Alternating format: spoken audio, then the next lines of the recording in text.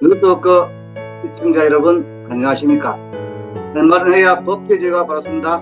강석정 목사입니다. 오늘은 나는 일본 원전 의수 마실게.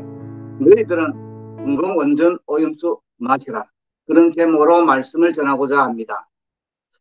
어제 10일 일본이 후쿠시마 원전 처리소 해양 방류 설비에 대해 시운전을 시작하면서 방류가 초일기에 들어갔습니다.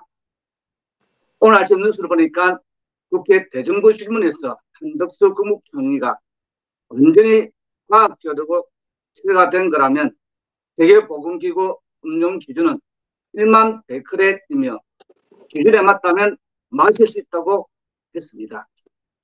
지난 5월 17일 후쿠시마 원전 처리소 끝장 토론을 즉각 실시하는 방송 이후에 저와 방송 편집국장과의 개인적 사람에서 나는 1번 철수 마실게 반대하는 너희들은 중공 원전 오염수 마시라.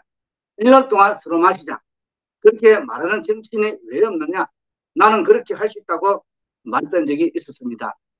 그 며칠 뒤에 대한약학회 방사선 의약품학 문과학회장 박일정 충북대 약대 교수가 처리된 후쿠시마 오염수를 가져오면 방류 농도로 희스게 마시겠다며 과학으로 판단할 사안을 주관적 느낌으로 왜곡하지 말라고 했습니다. 30년 가까이 대학에서 방사선 의약품학을 공부하고 강의한 국내 전문가가 정치권 등에서 일본 후쿠시마 원전 철수 방류의 위험성을 지나치게 과장 공포심을 조장하고 있다며 오염수를 다액종 제거 설비로 처리하고 방류 농도로 희석한다면 마시겠다고 공개적으로 밝히고 나섰습니다. 지난 7일 학계에 따르면 박일정 중국대학교 교수는 최근 생물학 연구정보센터 BRIC 인터넷 공개 게시판에 올린 글에서 국민 정서에도 국가 경제에도 도움되지 않는 그렇다고 후쿠시마 처리수 방류를 막을 수 있는 실질적 수단도 보이지 않는 소모적 논란이 과학과는 동떨어진 주관적 견해들에 의해 증폭돼 국민의 공포만 키워가고 있다며 이 같은 글을 올렸습니다. 식물학 연구정보센터는 생물학 분야에서의 국가 경쟁력 확보를 위해 한국과학재단과 광공과대학의 지원으로 1996년에 설립되었습니다. 과거 하무석 교수의 죽을세포 논란 당시 국내 생물학 연구자들이 BRIC 게시판을 활용해 여러 문제점을 지적해왔고 결국 논문 조작 의혹의 사실을 밝혀냈던 공간이기도 합니다. 현재도 연구자들은 BRIC를 정부 수집장으로 활용하고 있으며 김해 칼럼 등으로 의견을 주고받고 있습니다. 박일영 교수는 서울대에서 박사, 석사, 박사 학위를 취득하고 1995년부터 중국대 약대에 재직하고 있습니다. 이 대학의 약대 학장을 지내시며 대한약학회 방사선 의약품학 문과학회장도 맡고 있습니다. 박일영 교수는 오염수를 출한 뒤 3중 수소를 방류 농도인 1리터당 1500베크렐 미나로 희석한다면 이 물 1리터를 마시더라도 내가 받는 시로 설량은 0.000027ml시부터라며 이는 바나나 한 개를 먹을 때 포함된 칼륨 마이너스 40등에 의해 받는 시로 설량 0.0001 밀리시버트의 약 4분의 1 수준이라고 말했습니다. 또 파킨슨 병을 진단하는 PET 검사를 하기 위해 방사선 동위 원소인 플스 마이너스 18을 DOPA라는 물질의 치환에 있는 방사선 의약품을 정맥 주사할 때 환자가 1회당 받는 1호 설량이 9.25에서 18.5 밀리시부터라면 이 1호 설량이 환자에게 오히려 암을 유발한다면 어느 의사가 파킨스 의심 환자에게 PT 진단을 처방할 수 있을까라고 되물었습니다.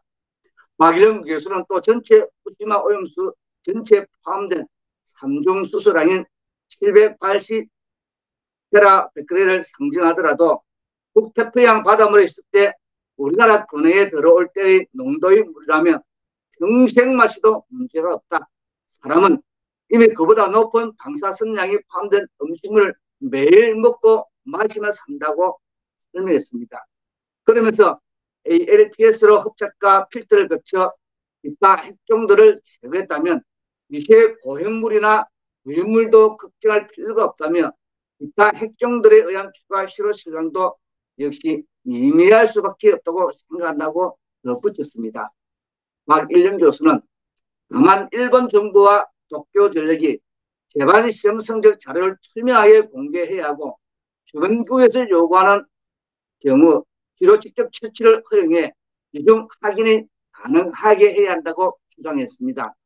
앞서 웨이의 엘슨 연구 오스포드 대학교 명예 교수가 후쿠시마 오염수를 ALPS로 칠한물을 마시겠다고 한 바 있지만 국내 학자가 후쿠시마 처리수를 마시겠다고 공개적으로 밝힌 것은 사실상 이번이 처음입니다. 박일영 교수는 이날 연합교수와 통화해서 이제는 우리 국내 식탁과 숙산업계 요식 복귀를 위해 수습을 해야 할 때이지 정치권 등 책임 있는 분들이 국민에게 공포심을 줄 일은 아니다면 관련 전공을 한 사람으로서 욕을 좀 먹더라도 얘기를 해야 하지 않겠느냐는 생각에 그랬다고 말했습니다. 그러면서 물론 주변에 쓰레기가 많이 흩어져 있다고 해서 담배꽁초 하나를 더 버리는 게 좋은 일은 아니다 하라며 하지만 누군가 담배꽁초 하나를 더 버렸다고 해서 온 세상이 담배째로 다 뒤덮였다고 할 수는 없지 않느냐고 반문했습니다.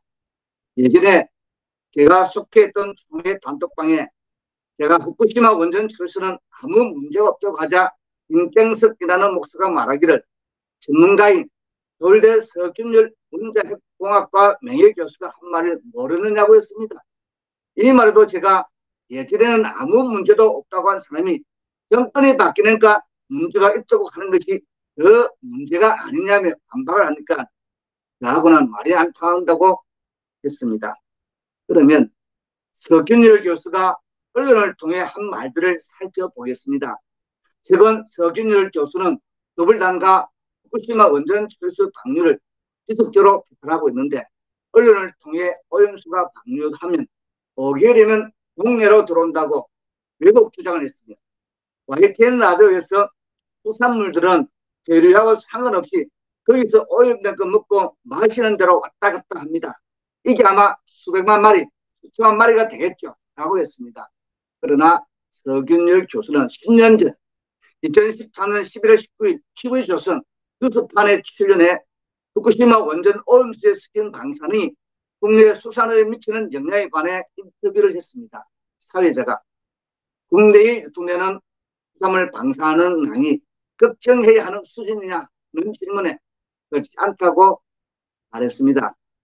서균열 교수는 이어 1초당 30 정도의 방사능이 나오는데 기준치가 얼마 전까지 370이었다가 지금 100으로 내려왔고 그보다도 낫지 않느냐며 문제는 경선보다는 공포다. 불안의 사기 트고 불신으로 자란 것이다. 거기에 문제의 본질이 있다고 본다고 했습니다.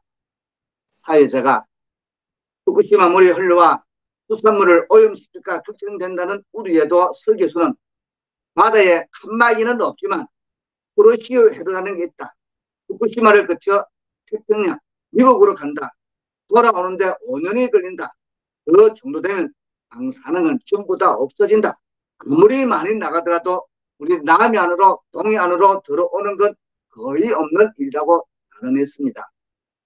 사회자가 불가능하다는 거냐고 묻자 성 교수는 불가능이라고 보다는 거의 없는 일이라며 해류에 움직이면 공개적으로 일관성 있게 일어나기 때문에 예외적으로 남해안이나 동해안으로 온다는 것 거의 없는 일이라고 거듭 강조했습니다. 석 교수는 이어 후쿠시마 원전 오염수와 관계없이 국내 수산물을 심하게 먹어도 된다며 자신도 당장 저녁 식사로 메뉴로 선택할 것이라고 했습니다. 사회자가 시장에서 파는 갈치, 고등어 등 사서 먹어도 지장 없냐? 교수님은 들실 것이냐? 라는 질문에 네. 그러면 지금 바로 생선을 저녁 식사로 하겠다며 그 이유는 생선에는 원래 방사선이 있다. 그것보다 좀 더 얹혀 있는 굉장히 작은 양 때문에 국내 수산물을 안 먹는다는 것은 분명한 결정은 아니다라고 했습니다. 사회자가 다시 한 번 더 자신 있게 먹어도 되느냐고 확인하자 서 교수는 네 맞습니다 라고 답했습니다. 사회자가 그럼 앞으로 먹겠다는 말에 서 교수는 저도 먹겠습니다 라고 웃으면서 대답을 했습니다. 지난 2015년 언론 인터뷰에서도 서 교수는 비슷한 발언을 했었습니다. 그는 인체의 위험한 수준까지 방사능에 오염된 물고기는 그 자리에서 죽어버려 우리 식탁에까지 오르기란 불가능하다며 아주 극단적인 경우를 상정하자면 건장한 남성을 기준으로 후쿠시마 연안에서 오염수를 마시는 생선을 꾸준히 150마리 정도 먹어야 건강에 문제가 발생할 것이라고 했습니다. 조선닥근에서 서준열 교수에게 10년 전과 다른 주장을 하게 된 이가 무엇인지를 물었으나 답변을 하지 않았습니다. 그동안 이런 사기꾼의 방송에 나와서 떠버리고 있었던 것입니다. 현재가 서울대 교수였고 학자였습니까? 지난 6월 2일 어민 1만 5천 명 이상이 가입한 연안 어민중앙연합회가 근거 없는 발언으로 국민 불안을 조장하고 있다고 서균열 교수를 고발했습니다. 그런데 지난 5월 23일 국조선 공작원을 접선해 국조선 지령을 받고 활동한 이른바 창원 가첩단으로 불리는 자주 통일 민중전이 이는 자통 조직원들이 국조선으로부터 만일 감정을 고조시켜 투쟁하라는 지령을 받은 것으로 나타났습니다.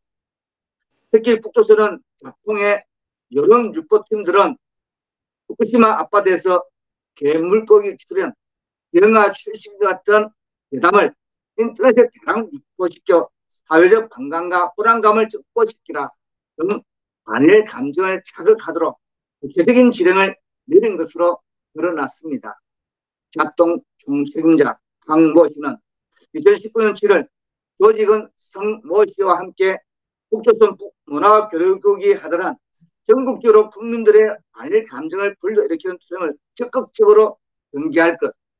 이 반일 투쟁을 반미정권 투쟁, 총파업 투쟁과 적극적으로 결합시켜 확대하고 이를 계기로 친일, 집회, 보수 세력 타격과 잘 결합해 나갈 것이라는 내용의 기록문을 받았습니다.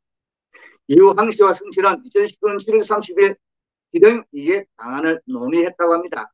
이들은 국조선의 연합 혁명 전략에 따른 투쟁과 관련 국조선에서 온 지령문에 담긴 방침과 같이 반일 투쟁을 반미 정권 투쟁, 총파업, 신정권 투쟁과 적극적으로 결합시켜 이를 계기로 친일 적폐에 대해서 자유한국당과 그 보수 세력들에 대한 타격을 잘 결합해 나가야 된다고 논의했다고 공소장에 적시됐습니다. 승모 씨는 이와 별도로 2019년 5월 7일 국조선으로부터 반일 관련 지령문도 받았습니다. 국조선 지령문은 최근 미국 것들이 반공화국 정책 공조를 노린 한미일 동맹을 적극 추진하고 있는 가운데 일본 당국이 후쿠시마 원자력 발전소의 오염수를 방류하기로 결정한 것과 관련해 사회의 각계층 속에서 반일 기운이 급격히 높아가고 있다고 되어 있습니다. 또 자통 이사회에서는 방사능 오염수 방류 문제를 걸고 지역 사회의 반일 민심을 부추겨 일본 것들을 극도로 자극시키는 한편 어정쩡하게 놀아내는 문재인 패드를 압박해 영국 것들과 일본 사이의 대립과 갈등을 되돌릴 수 없는 지경으로 몰았는데 중점을 두고 다양한 반일 투쟁을 조직 전개해 나가야 하겠다고 했습니다. 그러면서 진보당, 지역도당, 민노총 지역본부, 땡땡 진보연합, 시민운동을 비롯한 정당 및 대중운동단체들이 청와대를 상대로 일제히 도쿄올림픽 경기대회 참가 거부, 일본 수산물 전문 수입 금지, 일본 상품 불매 운동과 같은 대일 강경 입장을 요구하는 청서들을 발송하고 서명운동, 1인 시위, 촛불 집회들도 다음급 있게 벌려 문재한 패들이 스가 요시대 당시 일본 총리 급조가 결정하지 못하도록 단단히 압박 견제해야 하겠다고 일행을 내렸습니다. 국조선은 자통에 일본의 방사능 오염수 방류 문제를 이용하여 많은 민심을 일본 정부를 자극하는 한편 문재인 정부를 압박하여 일본 정부가 갈등을 되돌릴 수 없는 상태로 몰아넣는데 중심을 두고 반일 투쟁을 조직적으로 전개해 나갈 것. 이를 위해 환경운동가들과 양 전문가들을 방송 토론회들에 출연시켜 일본 오염수 방류가 한반도에 미칠 파국적 태양을 논정하게 하라 등의 지령을 내렸다고 합니다. 특히 북조선은 자통 일사회의 여론 유포팀들은 후쿠시마 바다에서 대물고기 출연, 기어가 출생과 같은 교담을 인터넷에 대량 유포시켜 사회적 반감과 불안감을 증폭시키고 오염수 피해를 받는 어민들을 내세워 집단 단식, 삭발 농성, 어선을 동원한 대규모 해상 시위를 격렬하게 전개하는 동시에 지방자치단체장과 지역구 국회의원들도 합세하게 하여 국제적 여론을 집중시키기 위한 활동을 전개해 나갈 것 등의 내용이 담긴 지령도 내렸습니다. 후쿠시마 원전 철수 방류에 의한 대물고기 결함 등은 그동안 북조선의 지령으로 유포된 것이었으며 더블당에서 일본 후쿠시마 원전 철수 방류의 위험성을 지나치게 과장해 공포심을 조장하고 있었던 것입니다. 이것은 미국산 소고기 먹으면 광병 걸리고 다 죽는다는 광병 사태와 똑같은 모습입니다. 박일영 교수의 그런 온 국민이 속 시원해야 할 소식입니다. 지식이는 용기는 이럴 때 빛이 납니다. 박일영 교수의 용기와 지혜에 큰 박수를 보냅니다.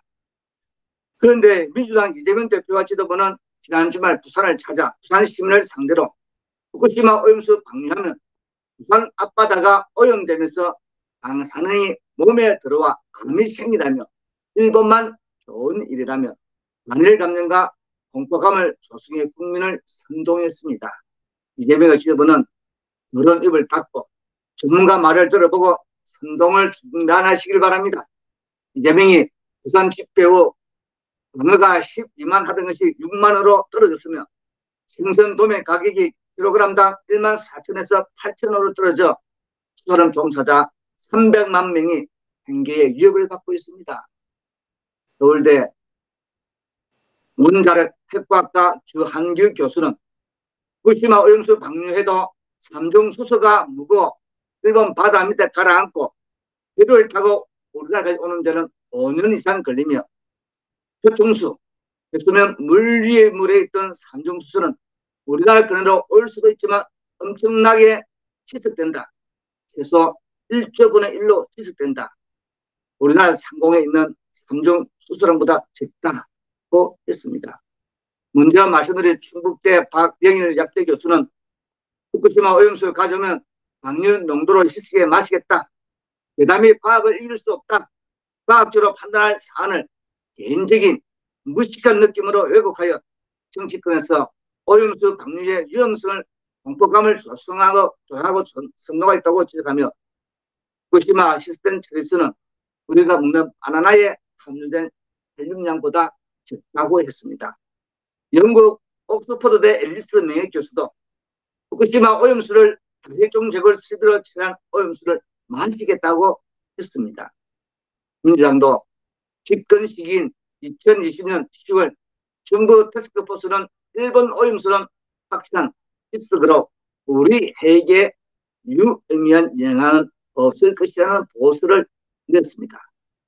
민주당 이재명과 지도부는 과학적인 판단에 의해 결정하지 않고 이재명 사법 리스크 김남국 코인 사태 원봉도 살포 출구를 찾기 위한 장애 집회에 의식 있는 의원들은 대거 불참하고 용감한 측근 의원 8명만이 참석하자 국민들은 이재명과 지도부가 능력을 잃게 되면서 이재명이 사퇴하지 않으면 분당에 불가피하다는 여론이 있습니다. 후시마 오염수 처리는 과학적으로 국지의 해처리 기준에 따라서 판단할 사안으로 정치권에서 목소리를 높이는 것은 후진국으로 돌아가자는 발상이며 특히 중국 대사를 만나 후쿠시마 오염수 공동 대응 논의에 국민은 분노합니다.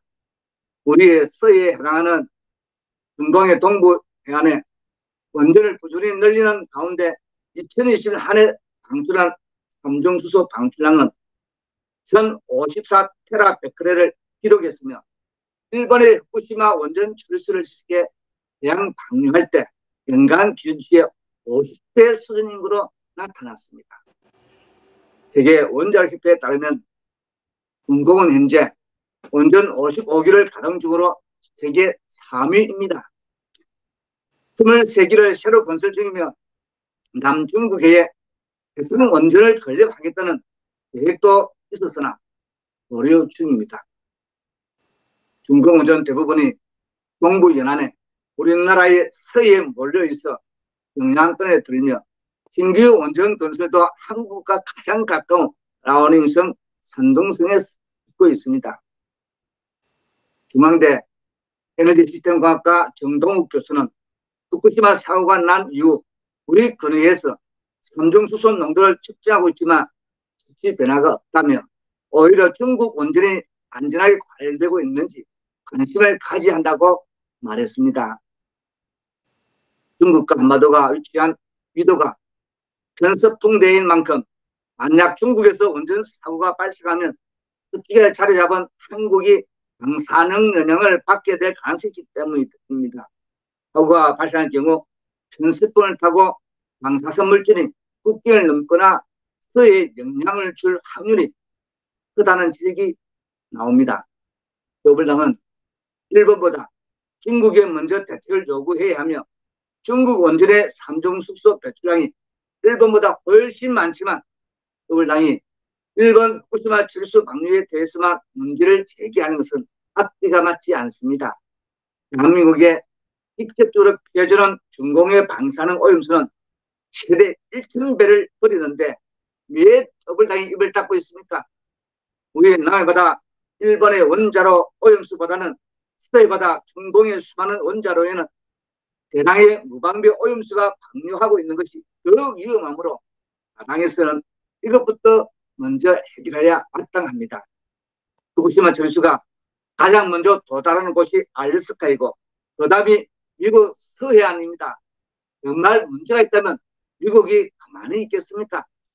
세계에서도 개념다른 후쿠시마 철수에 대해서 국민들이 선동 조약에 써먹는 야당은 이 나라가 망하기를 바라는 것입니까? 국가의 중대 산마다 반대하면서 취임한 지 1년이 넘은 대통령을 탄핵시킨다며 집회를 하는 민노총은 이 나라가 망하기만을 취도하는 집단입니다. 지금의 대한민국은 북으로 흡수돼서 중동의 속이 되는 나의 길을 서 있습니다. 자유 대한민국을 원한다면 정신들 차리시길 바랍니다. 저들이 다시 한 번 더 집권한다면 자유 대한민국은 지구상에서 사라질 것입니다. 감사합니다. 함께 기도하겠습니다. 인간의 생사법과 나라의 흥망성쇠를 주관하시는 하나님 아버지 하나님의 기적적인 간섭과 이승만 대통령의 사대 건국 전신으로 세워진 이 나라를 악의 축인 공산주의자 정복 주사파 추종자들로부터 지켜주시옵소서. 대한민국 75년의 모든 역사는 하나님께서 베풀어 주신 기적의 역사였으나 이 땅에는 국민들을 굳게 물들이기 위해 합법을 가장하여 온갖 악법을 만들어서 미혹하는 자들이 있습니다. 하나님을 반대하며 이승만 대통령의 사대 건국 전신을 파괴하려는 사회주의, 공산주의를 물리쳐 주시옵소서. 민주와 진보는 강봉의 천사로 유장하여 이 땅에 몰래 들어와 선거와 법치를 유린하는 자들과 가짜 뉴스로 국민들 습동한 자들을 심판하여 주시옵소서. 양집의 소리에 귀 기울이며 정직과 성실한 자들이 복을 받게 하여 주시옵소서. 미국과 더 굳건한 안보 동맹으로 세계 지투의 나라로 삼아주시고 예수한국 복음 통일로 다시 오실 예수님의 길을 예비하는 전 세계의 대장 나라로 삼아 주시옵소서. 예수님 이름으로 기도드렸습니다. 아멘.